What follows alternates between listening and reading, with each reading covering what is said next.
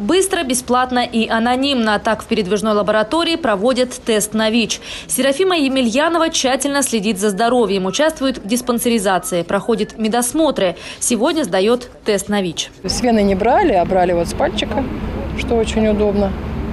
Вот, все быстро, удобно. Врач как бы объяснил, что надо знать о СПИДе. Процедура быстрая и абсолютно безболезненная. Результат готов уже через 5-10 минут. Если здесь идет положительный результат, это очень тревожный сигнал.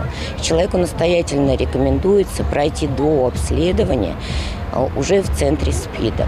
Большая часть тех э, положительных результатов, которые мы отслеживали на той или иной территории, ну, людям выставлялся диагноз ВИЧ-инфекции, к сожалению. Мобильный пункт разместился на площади у художественного музея. Это всероссийская акция «Тест на ВИЧ-экспедиция». Ее проводит Минздрав страны.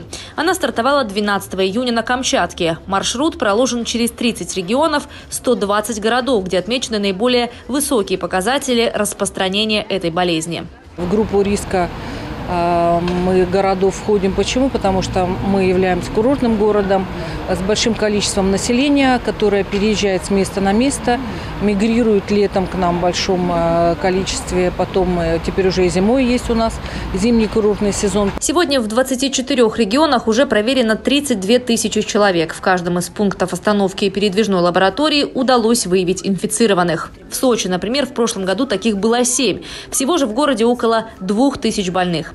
Сегодня лаборатория работала в двух точках – перед худмузеем и в Олимпийском парке. Медикам удалось протестировать более 200 человек.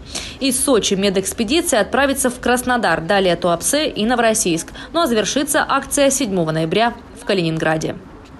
Ольга Десятого, Михаил Дубинин, телекомпания «ФКТ».